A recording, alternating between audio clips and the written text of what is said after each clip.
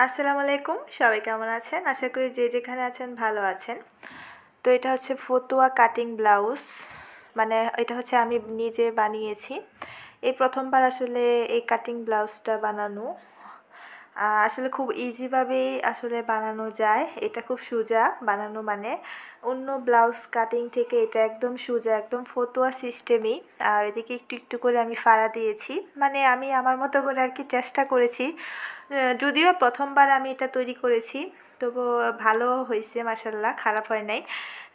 প্রথমবারের তৈরি জিনিসটা ভালোই হয়েছে। তো হাতাটা আমি একটু প্লাজো হাতা দিয়েছি। মানে ছড়ানো হাতা।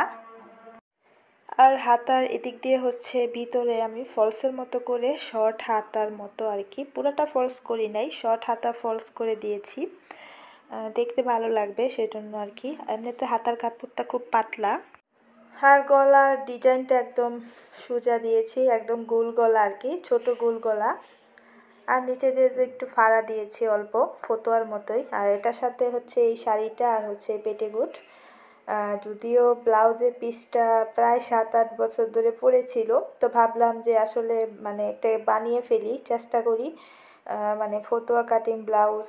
তো আমি প্রথমবারে আসলে ব্লাউজটা বানিয়েছি আমি তবে হ্যাঁ সুন্দর হয়েছিল। প্রথমবারে মানে ভালোই হয়েছিল খারাপ হয় নাই।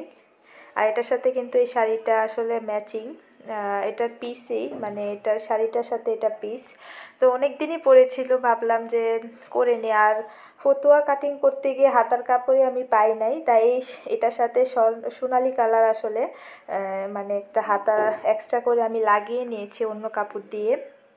তো এই তো আমার শাড়ি আর ব্লাউজ আর হচ্ছে পেটিগুট কালারটাও মাসাল্লাহ খুব সুন্দর।